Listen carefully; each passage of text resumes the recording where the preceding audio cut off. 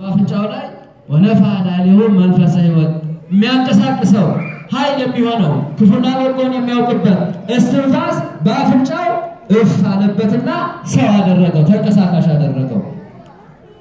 ነገሩን እንጠር ለማድረግ ለማሳጠር እግዚአብሔር እንዲያርጎ ፈጥሮ ሲያበቃ በገነት አስቀመጠው። ነገር ግን በገነት ሲቀመጥ ቀናተኛ ጠላት ነበረው። ጠላቱም ማን ነው? ተናገሩት። ማን ነው ጠላቱ? ለምንድን ነው ዲያብሎስ እኛ ጋር ጥላቻ ያለው?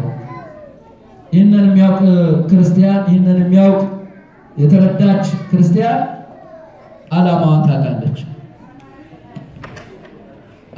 ዲያብሎስ ከእኛ ጋር መሰረታዊ ጥላቻ ያለበው ያለው ምክንያት ስላለው እግዚአብሔር አምላክ መላእክትን ዘጠና መቶ ነገድ አድርጎ በመቶ division ፈጠራቸው። በአስር አለቆች መሪነት በ division ወይም ደግሞ በነገድ መቶ በከተማ አስር አድርጎ ፈጠራቸው። አንደኛው ነገድ እምቢ ያለ ከነሰራዊቱ ወደቀ። ይኸው ዲያብሎስ ነው። ስንት ሆነ? ከዘጠና ዘጠኙ አንድ ሲቀነስ ስንት ቀረ? ማን ነው? ከመቶ አንድ ሲቀነስ ስንት ይቀራል? ዘጠና ዘጠኝ ነገደ መላእክት ትቶ እያላችሁ ነው እንግዲህ አሁን ዘጠና ዘጠኝ መላእክት ቀሩ።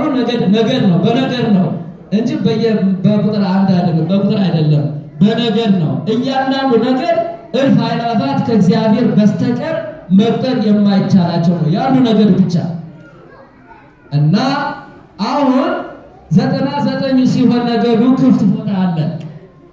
መቶ መምራት ነበረበት የግድ አሁን ዲያብሎስ ቦታውን ስለለቀቀና ክፍት ቦታ ስለሆነች የሰውን ዘር እግዚአብሔር ፈጠረና መቶን ቁጥር ድፍን አደረገ። በዚህ ጊዜ በቃ በቅጣት በቅናት አበደ። ዲያብሎስ አበደ። እንዴት እኔ ያጣኋትን ክብር እነሱ ይወስዷታል? ሰዎችን እኛ ነው አባታችን አዳምና ሔዋን እኔ የተሰደድኩባትን ቦታ እንዴት ያገኘዋታል?